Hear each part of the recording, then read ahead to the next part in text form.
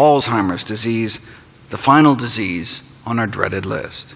Dietary AGEs appear to be important risk factors for Alzheimer's disease as well.